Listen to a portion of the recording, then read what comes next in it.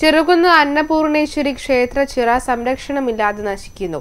നാടിന്റെ ജലസംഭരണിയെ സംരക്ഷിക്കണമെന്ന ആവശ്യം ശക്തമാവുന്നുണ്ട്.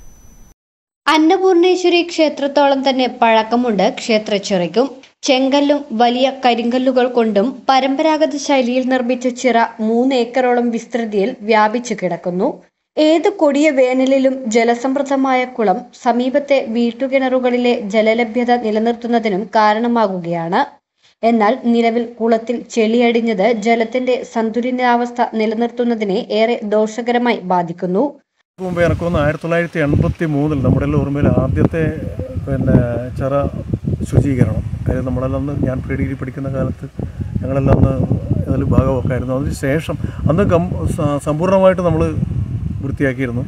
അതിനുശേഷം ഒന്നോ രണ്ടോ ശ്രമങ്ങൾ നടത്തിയെങ്കിലും അത് പൂർത്തിയാക്കാൻ പറ്റിയിട്ടില്ല. നേരത്തെ വന്ന മഴ കാലാവസ്ഥ മാറിയപ്പോൾ നമുക്ക് ചെയ്യാൻ പറ്റിയിട്ടില്ല. പക്ഷേ അത് പിന്നെ അതുകൊണ്ടുള്ള വിഷയം എന്ന് വെച്ചാൽ ഈ സമീപ പ്രദേശങ്ങളിലെ കിണറിലെ വെള്ളം പോലും പറ്റുന്ന അവസ്ഥ. ഇവിടുത്തെ ഒരു സന്തുലിതാവസ്ഥയാണ് ഇവിടുത്തെ ഈ ക്ഷേത്രച്ചിറയിലെ വെള്ളം സമീപ ഭാഗത്തെല്ലാം. അതേസമയം ആവശ്യമായ സംരക്ഷണമില്ലാതെ ക്ഷേത്രച്ചിറ നാശത്തിന്റെ വക്കിലേക്ക് നീങ്ങിക്കൊണ്ടിരിക്കുകയാണ്. പല സ്ഥലങ്ങളിലും കൽപ്പടവുകൾ തകർന്നുകൊണ്ടിരിക്കുകയാണ്.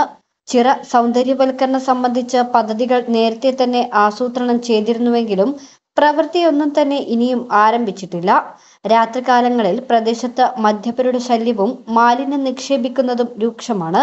ക്ഷേത്രച്ചിറ സംരക്ഷിക്കുന്നതിനൊപ്പം തന്നെ സി സി ടി വി ക്യാമറകൾ സ്ഥാപിച്ച് സാമൂഹ്യ വിരുദ്ധരെ പിടികൂടാനാവശ്യമായ നടപടി സ്വീകരിക്കണമെന്നും ആവശ്യം ഉയരുകയാണ്. News bureau Pazhayangadi.